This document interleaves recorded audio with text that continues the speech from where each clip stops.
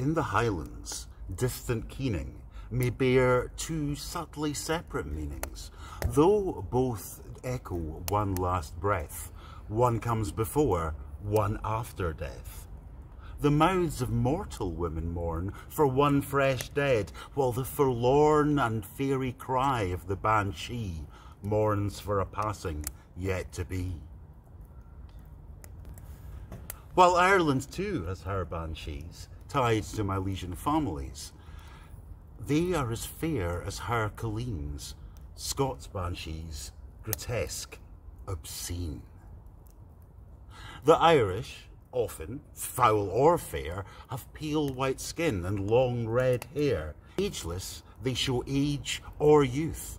Scots banshees, aged, show one great tooth, which juts down, even with mouth closed. Above that mouth, she has no nose, just one nose hole through which she breathes. Her dugs hang down around her knees. I hope that this mythology is no mere misogyny, and that no banshees take offence. I'm keen for keening, come my end.